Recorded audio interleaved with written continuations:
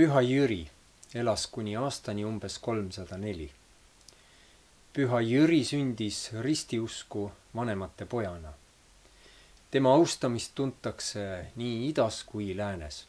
alates kuuendast sajandist on talle pühitsetud kirikuid Jeruusalemmas ja Antiookias ning teda peeti Bütsantsi armee patrooniks.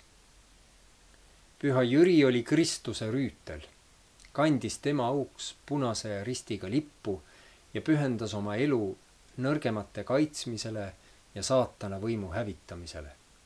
kord vajati väga tema abi. igal aastal tuli Seleeni linnale ohverdada lohele üks tütarlaps.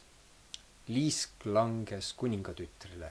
mõrs ja rüüs, printsess, oli aheldatud kalju külge ja ootas oma saatust. teinud ristimärgi asus Jüri lohega võitlema. viimaks õnnestus tal lohe odaga maa külge naelutada ning seejärel mõõgaga tappa. kuningas ja tema rahvas pöördusid selle imeteo tõttu ristiusku ja olid täis indu pühale Jürile tema usus järgnema, sest ilmselgelt oli Jumal temaga. püha Jüri jätkas oma teekonda Palestiinasse kus astus välja Diokletianuse edikti vastu kristlaste tagakiusamise kohta. ta võeti kinni ning piinati, kuid imelisel moel ei saanud ta viga.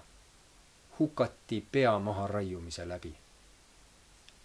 ristisõdade ajal sai Püha Jüri austamine uut hoogu. Richard Lõvisüda kuulutas enese ja oma armee Püha Jüri kaitse all olevaks püha Jüri atribuutideks on raudrüü, kilp, draakon, hobune